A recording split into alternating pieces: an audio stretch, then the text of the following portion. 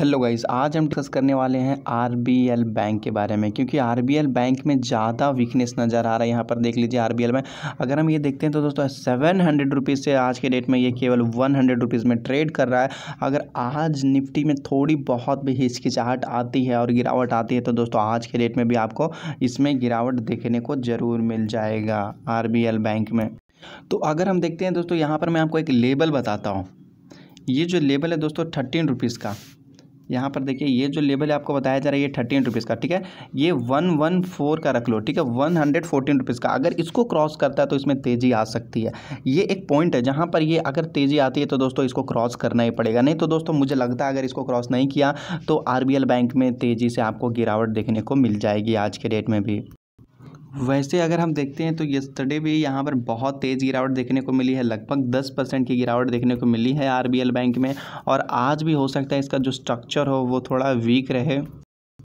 अगर हम यहाँ पर कुछ डेटा देखना चाहते हैं तो यहाँ पर आपको बताया जाएगा company has low interest coverage ratio company के पास लो इंटरेस्ट कवरेज रेशियो और दूसरा जो है company has low return on equity तो दोस्तों कंपनी के पास रिटर्न ऑन इक्विटी बहुत कम है एज़ कंपेयर टू एक अच्छी कंपनी में होना चाहिए.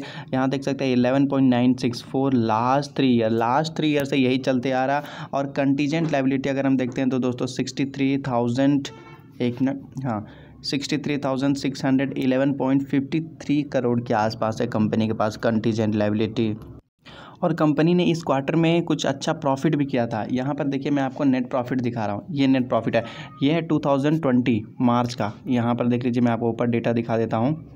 ये देख लीजिए, आपको बताया जा रहा है। एटीन एटीन करके बताया जा रहा है दोस्तों, फिर यहाँ से नाइनटीन है। तो ये जो लास्ट वाला है ये 2020 का ठीक है? तो हम देख लेते हैं दोस्तों 2020 में जो इसका ये आया था, उसमें कितना ज़्यादा प्रॉफिट हुआ।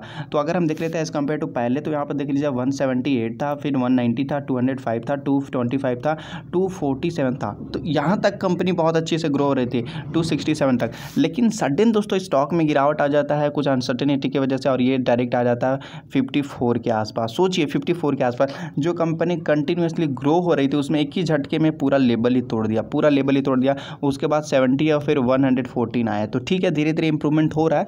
लेकिन अभी भी अगर हम देखते हैं तो दोस्तों आरबीआई ने जितना भी बोला है कि मोनिटोरियम की वजह से तो बैंकिंग सेक्टर में थोड़ा सा आपको नुकसान देखने को मिलेगा। देखिए बैंक चाहती क्या अगर हम लोन दें, हम क्यों लोन देना चाहते भाई, हम लोन इसलिए दें ताकि कोई हमें इंटरेस्ट पे करे ईएमआई पे करे, लेकिन आर बोले कि नहीं, अभी थोड़ा हमें वेट करना चाहिए, क्योंकि लोगों के पास पैसा नहीं है। क्यों? लोग, और देखिए, मान लेते हैं लोग लॉकडाउन ख़त्म होने के बाद जब ये पीरियड है लॉकडाउन का ख़त्म होने के बाद अब जब बैंक जो है आ, बैंक को अप्रूवल मिल जाएगा कि जो ईएमआई नहीं भरे उनको डालना पड़ेगा देना पड़ेगा। तो दोस्तों ऐसा भी तो है कि बहुत सारे लोगों को डर है जॉब खोने का। बहुत सारे लोगों को अर्थव्यवस्था बिगड़ने की वजह से ये भी डर है कि बेरोज़गार था। उसके वजह से भी कुछ प्रॉब्लम दिखेगा इन लोगों को।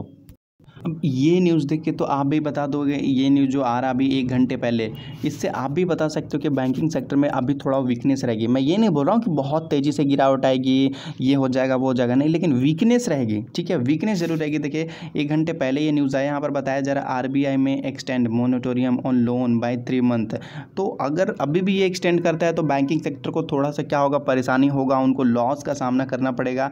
तो इस न्यूज़ से मुझे लगता है, देखिए, जो लोन जो लोन दे रहे हैं, उनको भी तो इंटरेस्ट इंटरेस्ट चाहिए। जैसे कि आप बजाज फाइनेंस में देख लीजिए बहुत बड़ी गिरावट हुई थी। फाइव थाउज़ेंड का स्टॉक जो है टू थाउज़ेंड में आ, आ गया है।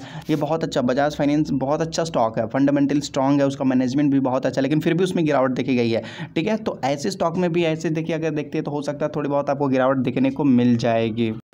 तो इसीलिए अगर मार्केट में थोड़ी बहुत तेज़ी भी हुई तो ऐसे स्टॉक में आपको थोड़ा बहुत गिरने को मिल सकता है, ठीक है? तो मेरे ख्याल से आप लोगों को आरबीएल बैंक बिल्कुल नहीं खरीदना है। वीकनेस अभी भी जारी है, क्योंकि अभी भी मार्केट में तेज़ी मतलब गिरावट हो सकती है। वो भी थोड़ी बहुत ना, ज़्यादा से ज़्यादा गिरावट हो सकती है। तो खुद से सेफ़ रहिए दोस्तों, अपने आप को सेफ़ रहिए और पैसे अच्छी जगह लगाइए। देखिए, ऐसे स्टॉक में लगाएँगे, अनसर्टेनिटी है, गिरावट होगी, लॉस होगा तो थोड़ा सा सेफ्टी रहिए, जिससे आपको भी कहीं ना कहीं थोड़ा थोड़ा प्रॉफिट मिले।